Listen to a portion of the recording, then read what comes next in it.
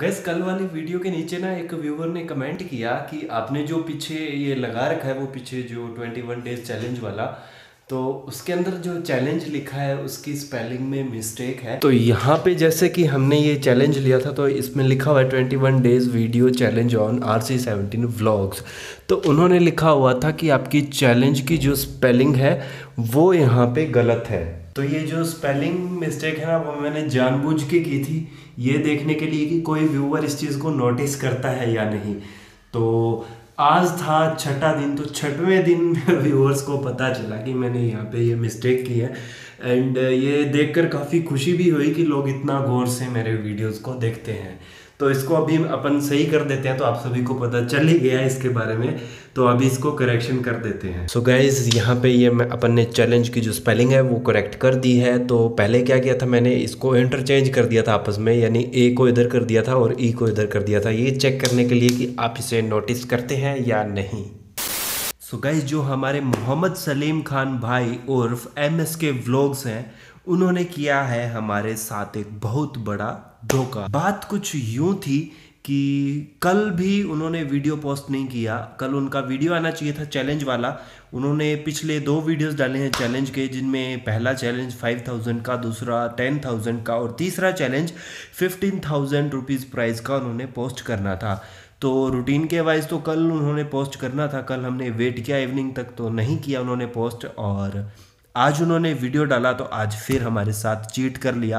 हम वेट कर रहे थे कि भैया सबसे पहले उनका वीडियो देखें और वो जो फिफ्टीन थाउज़ेंड वाला चैलेंज है उसे ब्रेक करें। प्राइस जीतना ना जीतना तो अलग बात है बट उस चैलेंज को जीतना ज़रूरी था हमारे लिए। तो हुआ यूँ कि सुबह से वेट कर रहा था मैं वेट करता रहा करता रहा। दोपहर में जाके उन्होंने वीडियो अपलोड किया। और जैसे ही अपलोड हुआ, मैंने स्टार्टिंग से लेके लास्ट तक देखा। उन्होंने, उसमें उन्होंने वो जो टेन थाउज़ेंड वाला चैलेंज है, उसमें एक लड़की विनर रही जो अपन ने भी किया था। अपन ने तो दस मिनट के अंदर वो वीडियो शूट किया था प्रैक्टिस वगैरह सारा करके। तो एक बार स्पून डाल पाए थे कप में। उसका वीडियो का जो लिंक है, वो ऊपर आई बटन में आ रहा है। वहाँ जाके आप देख सकते हैं। तो उस लड़की ने जिसने वो चैलेंज जीता, उसने वो स्पून उस कप के अंदर 11 टाइम एक मिनट के अंदर उस कप के अंदर उसने डाला। एंड इसी के साथ उसके बाद मैं देख ही रहा था कि एम एस के भाई दूसरा चैलेंज देंगे बट उन्होंने दूसरा चैलेंज अभी नहीं दिया। तो वो बोल रहे हैं कि कल वाले वीडियो के अंदर आएगा एंड देखते हैं, अगर कल उनका वीडियो आता है तो हम परफॉर्म करेंगे, वरना परसों तो फिर आएगा ही आएगा। एंड इसी के साथ गाइज़ जो अपन ने वीडियो शूट किया था दो तीन दिन पहले दूसरे चैनल के लिए, उसको एडिट करने का टाइम आज मिल रहा है। क्योंकि डेली व्लॉगिंग का सीन ये रहता है कि सुबह से लेकर शाम तक बिज़ी चलता है शेड्यूल और शाम को तो भाई साहब इतना टाइट होता है। वीडियो को एडिट करना है, उसका थंबनेल डिज़ाइन करना है, जो उसका टाइटल है वो डिसाइड करना है कि क्या रहेगा उसका डिस्क्रिप्शन उसके टैग्स वगैरह, इतना टाइम लग जाता है उस प्रोसेस में।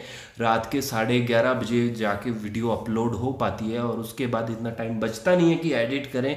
तो अभी पाँच से दस मिनट मेरे पास फ्री थे आज तो मैंने सोचा कि इतने टाइम में क्यों ना इस वीडियो का थोड़ा सा पार्ट एडिट कर लिया जाए। एक और बात मेरे को समझ आ गई कि जो दूसरे क्रिएटर्स जो वीडियो अपलोड करते हैं व्लॉग्स वगैरह बनाते हैं डेली व्लॉगिंग करते हैं, वो अगर एक दिन वीडियो ना बनाए तो हम पूरा शहर सर पे उठा लेते हैं कि आज वीडियो क्यों नहीं आया। तो अब जाके मुझे भी फील हो रहा है कि कितना हैक्टिक होता है डेली एक वीडियो प्रोवाइड कराना। क्योंकि शूट भी करना है वीडियो आपको सोचना भी है टॉपिक क्या रहेगा और वो भी खासकर तब जब आपको सिर्फ़ एक कमरे के अंदर रहना हो। तो उस टाइम काफ़ी डिफ़िकल्ट होता है वीडियोस वगैरह शूट करना। तो अभी मेरे को एहसास हो चुका है कि किस तरीके से डेली व्लॉगिंग में कितना स्ट्रगल करना पड़ता है। एंड अभी फ़िलहाल अपन फटाफट ये जो एडिटिंग वाला काम है वो कंप्लीट करके फिर आज का जो व्लॉग है उसे कंटिन्यू करते हैं। तो फ़िलहाल टाइम हो रहा है डिनर का। और गैज़ ये वाला जो मैसेज है, ये उन लोगों के लिए है जो इतना सब होने के बावजूद भी सड़कों पे घूम रहे हैं। तो आपको बता दूँ कि अगर बात करते हैं हम C O V D nineteen की रिपोर्ट की तो आज सुबह 10 बजे तक 940 केसेस कंफर्म हो चुके हैं एंड 29 डेथ्स रिकॉर्ड की गई हैं। वहीं परसों यही आंकड़ा 640 पर था और आज एक दिन के अंतर के अंदर इतना बढ़ चुका है।